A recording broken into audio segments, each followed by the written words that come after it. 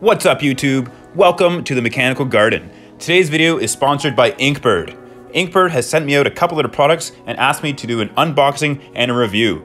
Today's video, I'll be unboxing the IBS TH1 Plus Temperature and Humidity Smart Sensor. Not sure what this one is.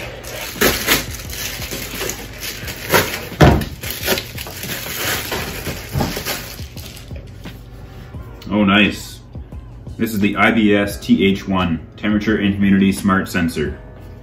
So this is a little probe you can put inside your grow tent and you can pull up your phone and read the humidity and temperature inside your tent. So that'll be really neat. I'll be able to check on the environment conditions with my phone.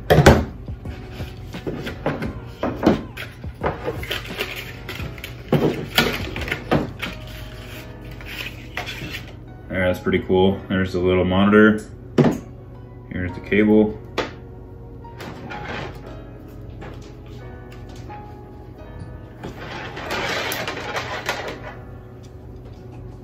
It's a nice feature. It's got Celsius and Fahrenheit. That'll be good.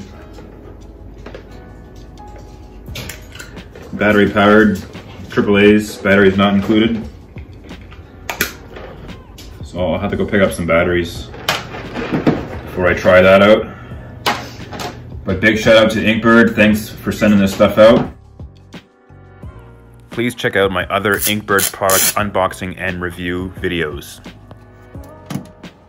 My first thought is that this thing is pretty cool. Unfortunately, the magnets are not very strong, but that is okay because I'll be putting it inside this little pouch inside my tent and using the app to view the information.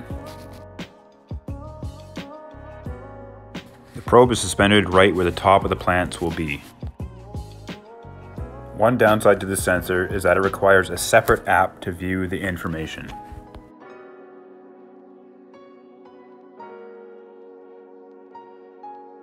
Once you've loaded the app, you can view the temperatures each day, you can view it by the week, view it by the month, or even view it by the year. In this line graph, you can see the lights come on at 10 a.m. and then the temperature slowly increases to approximately 24 degrees at the peak of the day. This app records the humidity and temperature every minute. You can go into the app, go back in time, and click anywhere, and it'll tell you the exact temperature or humidity. I've been using this temperature and humidity smart sensor for a couple days now, and I absolutely love it. During the night, the fans are only triggered to come on at the humidity high point. The result is humidity is very constant at night. Once the lights turn on, the fans will be triggered on by high temperature and the humidity spikes up and down throughout the day. One thing I wish I could change is the range on the graph. In the humidity chart, it goes from 0 to 125%. While it might be important to have a range of 0 to 100, I don't think it's necessary to go beyond 100%. Also, for the temperature, it would be nice if you could choose the range or if it would automatically adjust to the data you have collected. As for my review, this thing is absolutely awesome. It gets 5 stars all the way around. I'll probably be buying a second or third one to put in my other grow tents. I'd like to give a big shout out to Inkbird. Thank you guys so much for hooking me up and sending this stuff out. Please go check them out on Instagram at Inkbird underscore Canada and Inkbird underscore US. And don't forget to check out my other Inkbird product review videos. That's it for today's video. Thanks everyone for watching.